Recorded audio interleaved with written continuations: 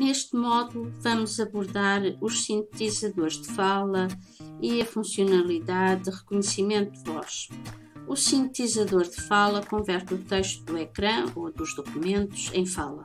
É muito útil para pessoas que não se conseguem expressar oralmente ou têm fala pouco inteligível, pessoas com dificuldades na escrita, na leitura ou dificuldades de aprendizagem.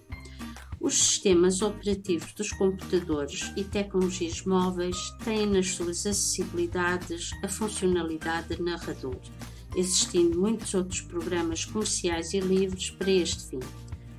Exemplos de aplicações de síntese de fala livres, de texto para fala, são o Balaboca, Natural Reader, WordTalk e muitos outros. O reconhecimento de voz está ligado à funcionalidade de ditado, sendo igualmente configurável nos sistemas operativos mais comuns. O Windows 10 tem esta acessibilidade melhorada, bem como a Apple. O Voice Typing, associado ao Google Docs, tem críticas bastante positivas. Existe ainda uma ferramenta online designada Transcribe que faz a transcrição de áudio para texto.